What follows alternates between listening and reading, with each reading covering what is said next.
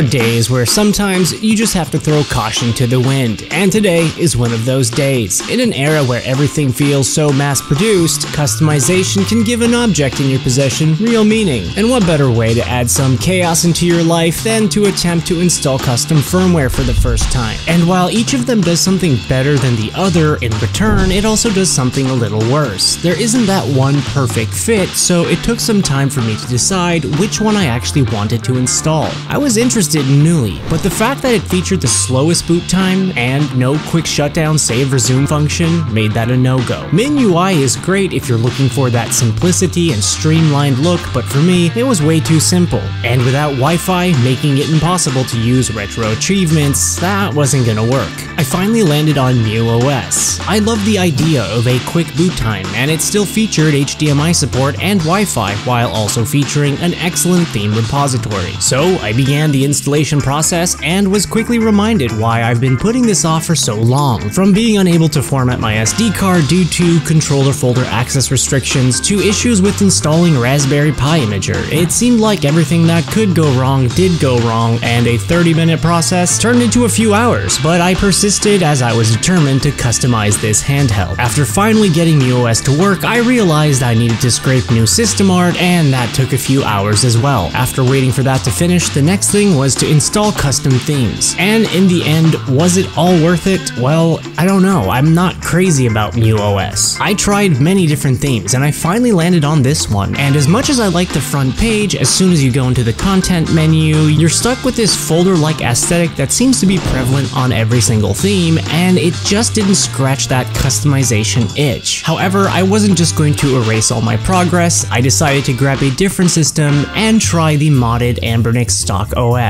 And while investigating further into the folder structure, an idea popped up into my head.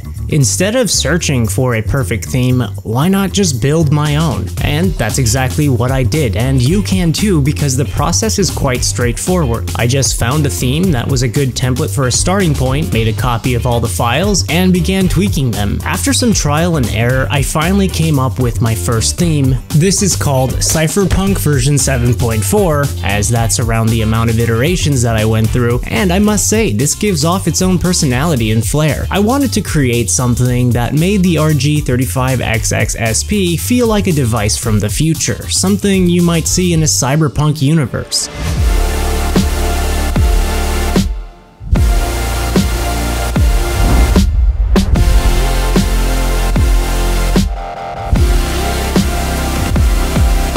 Added a ton of little details, as each menu icon, every time you hover over it, it changes colors and a little light lights up on the bottom. From the boot logo to the standby page, it just has a very unique feel. It kinda makes me wish I had the black transparent model as I feel this theme would be a perfect fit. If you're interested in downloading this, note you must be on the modded stock OS. I haven't done any tests on the actual Anbernic OS, but this is how you do it. First, download the link in the description Then shut down your system, take out your main SD card, which is the one with all the system files, usually residing in port 1 of your system, and put that into your computer. Open up the ROMs folder, and inside that, you'll find a folder titled Apps go into that, then go into themes underscore ins, then 640 by 480, and it's inside this folder where you need to drag and drop the zip file that I provided, and then eject and remove your SD card. Put that back into your system, go into the App Center folder, go to Apps, go into your first card,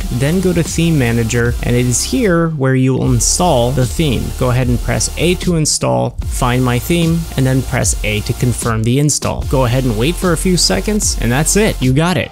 There really is something to say about customizing and creating your things. It's like the moment you add your own take to things, it can be as simple as just throwing on a new sticker. Something changes. This thing is no longer just a piece of hardware, it's kind of a reflection of you. So go out there, search for those custom buttons, or find these stickers that really speak to you. And customization doesn't need to be complicated. All it took for me to customize my Nintendo DS was one item. And if you're interested in seeing how this one item unlocked the Nintendo DS's true power, you definitely want to check out that video coming up right now.